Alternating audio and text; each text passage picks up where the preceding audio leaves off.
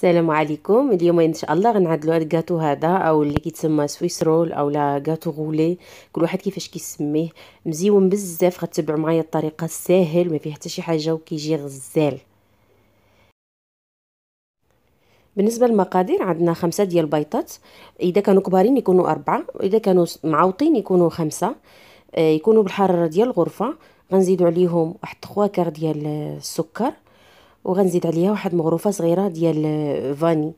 هادو غادي نخلطوهم مزيان واحد تقريبا واحد سبعة عشرة دقائق حتى يرجعوا فحال الرغوه ما بين ما تخلط غنخلطو هنايا عندنا كاب ديال الطحين غنغربلوه غنزيدو له ربع كاب ديال أو ثلث كاب ديال الشوكولاط غابرة وغنزيدو له مغروفه ونص مغروفه صغيرة ونص ديال الخميرة ديال الحلوى غنغربلوهم مع بعضيتهم. بهذا الشكل هذا باش يدخل فيها الهواء باش يدخل لنا الهواء في الطحين. من بعد غادي نشبرو غادي يكون عندنا بيض طلع كيجي بهذه الطريقة هذه خصو تيرجع هيدا كيرجع بيض وكيرجع عامر بالهواء بحال الرغوة. بهذا الشكل خصو يكون. كنبداو غادي نبداو نزيدو له الطحين شوية بشوية وكل شوية نزيدوه نخلطوه بحق طريقة التخليط.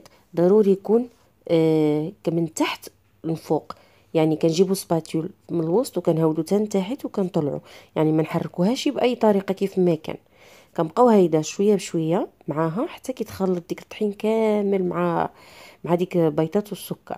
كنزيدو عاوتاني شوية بشوية حتى كنكملوه. تقريبا على جوج المرات اولا ثلاثة المرات حتى ثلاثة المرات.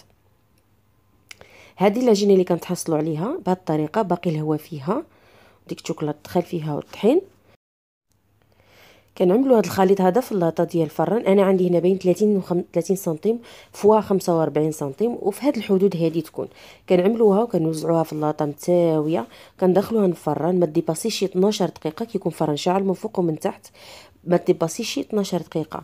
على ما كتكون كتوجد غنوجد هنايا عندي واحد زلافة صغيرة ديال فريسة مقطعة ستيتوا مقطعة صغيرة. وعندي هنايا خليت واحد ثلاثة د الحبات ديال الفريسه غادي نقطعهم.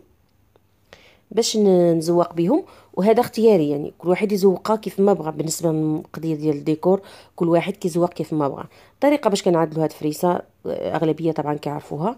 كنقطعوها هيدا ما كتوصلش حتى القاع كتبقى تفتحها بهاد الطريقة هذه حتى كنفتحوها كاملة ساعة كتفتح هيدا كتجي بحال الوريدة. وكل واحد يقدر يعمل الشكل اللي كيبغيه. بهاد الشكل هذا.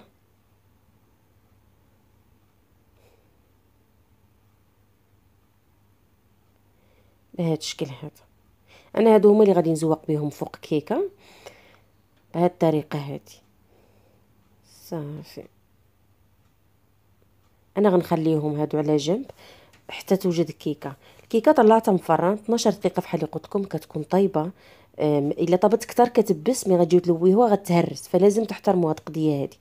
غادي نحيد غير هاد الحشيات بالموس اولا باش ما كان لأن هما اللي ما وصلهمش بابي. هي الصعوبة ديالها هي في الطياب. ضروري الواحد ياخد باله لا نسيتيها بزاف كتبس مي غتجي التنيه غتهرس فالواحد ياخد باله منها. آه غادي نحيدها. سهلة ملي كتجي تزوله من اللاطه ما فيهاش شي صعوبة. غادي نحيدها من اللاطه هي هادي. غادي نقلبها باش نحيد لك كاغيط بهذه الطريقة. غنزول هاد الكاغيط كامل. هي كطيب مزيونة. فوالا.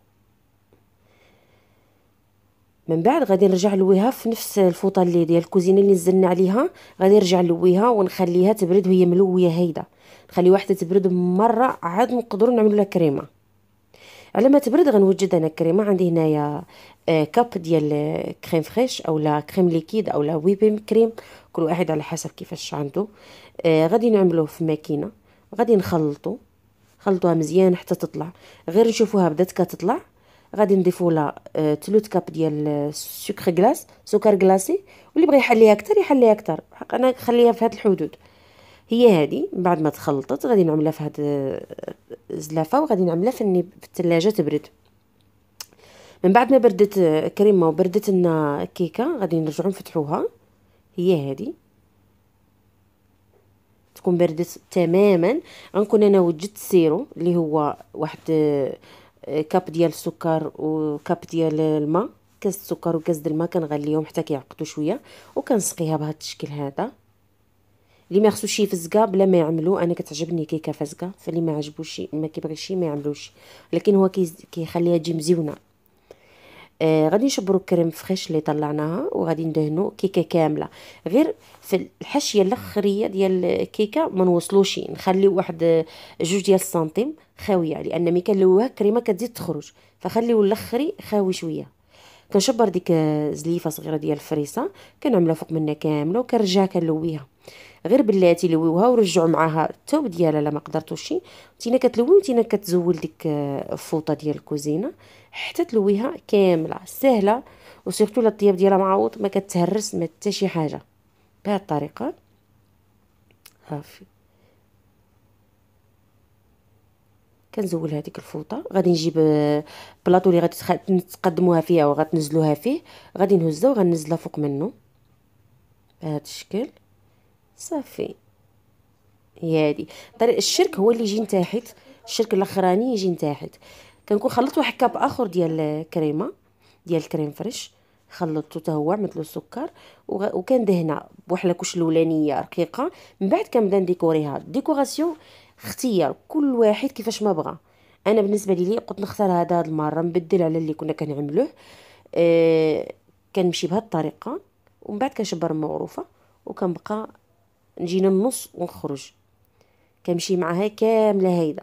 طبعا كل واحد يزوق بالطريقة اللي كيبغيها بمتشيك أولا بالرأس آخر ديال ال poche à douille اللي كيكون مزوق مشرف أولا بأي حاجة الشكل اللي كيبغيه كل واحد يعمله أنا اختاريت هاد المرة هاد الطريقة لأن قلت نبدل يعني بالاشكال آخرى نبدل.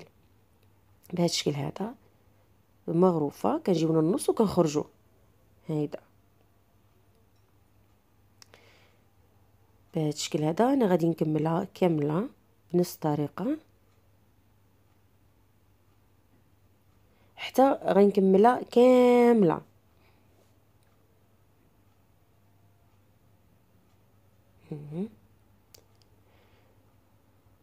نفس الشيء بالمراز ديال المغروفة كنجيو من النص وكنخرجوا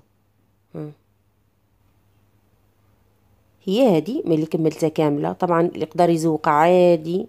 كيف ما بغيتو يقدر غير بفرشيطة تمشي معاه هيدا وصافي. أنا غادي نزيد عليها شوكولاته غابره من فوقي. أنا قلت لكم كل واحد يعمل الزواق اللي بغى فوق منا. المهم هو البرانسيب ديال الكاطو أما بالنسبة شني غادي تعمل فيه داخل اولا برا كل واحد اللي بغى غنعمل ديك الطريفات ديال الفريسة من فوقي بهذا الشكل هذا. غادي نزول غير هاد الحشيات. غادي ندخل النبيرة واحد نص ساعة تشب الراسه عاديك غنقطعوها. هو هذا الشكل ديالها هيدا كتجي. كتجي مزيونة بزاف وسهلة. كنتمنى أنكم تجربوها. وإلا عجبتكم عملوا لي لايك الفيديو ديالي. ولا عندكم شي commentaire عملوه وعملوا لي شير وتابوناو في la chaîne ديالي. شكرا بزاف. بالصحة والراحة.